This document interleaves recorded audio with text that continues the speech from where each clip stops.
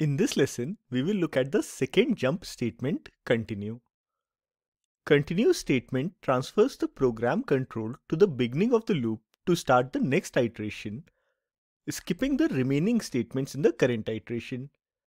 Going through an example program will make its working clear, so let's switch to BlueJ.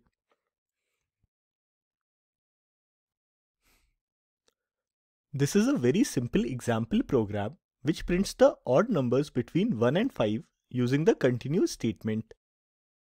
Let me execute this program and show you the output. As I told you, it prints the odd numbers 1, 3 and 5. Now let's go over the program to understand the working of continue statement. Demo continue method starts with a for loop. This loop iterates from 1 to 5 and after each iteration, its loop control variable i is incremented by 1. But still, we get the output as 135 and not 12345. The reason is the continue statement.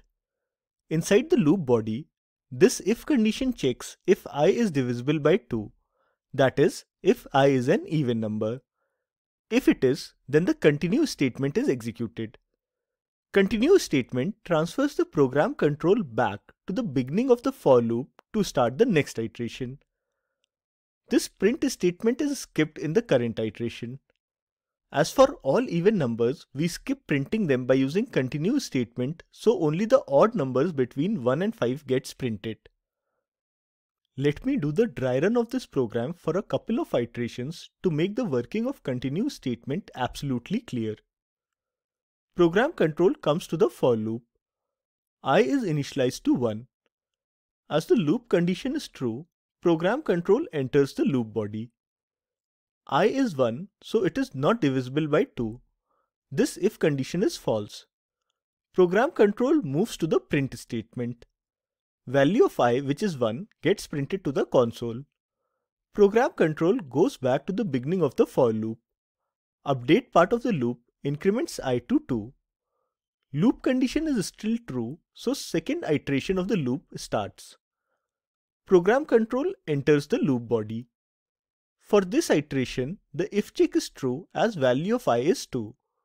Program control comes to the continue statement and executes it. Continue statement transfers the program control back to the beginning of the for loop. This print statement is skipped, so 2 is not printed to the console. The update part of for loop increments i to 3. As loop condition is true, third iteration starts. Similarly, the third, fourth and fifth iterations happen printing 3 and 5 to the console. I hope with this you have developed some understanding of continue statement. This was just a very simple example to explain you continue statement. Of course, you can print odd numbers between 1 and 5 without using continue statement by simply incrementing i by 2 instead of 1 in each iteration like this.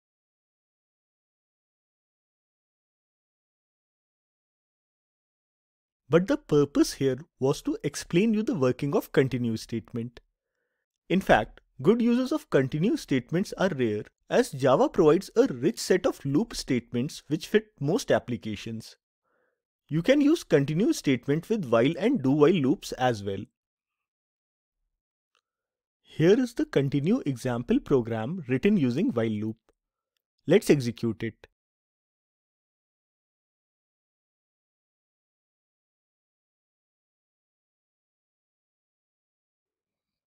We get the same output. There is a slight difference between how continue works in while do while loops as compared to for loops. As you saw in the previous example, in case of for loops, when continue statement was executed, program control went to the beginning of the loop and first update part was executed, incrementing the loop control variable i. After that, the loop condition was tested. In case of while and do while loops, continue statement transfers the program control directly to the loop condition as updating the loop control variable is not part of while and do while loop constructs. Similarly, you can use continue statement in do while loops as well.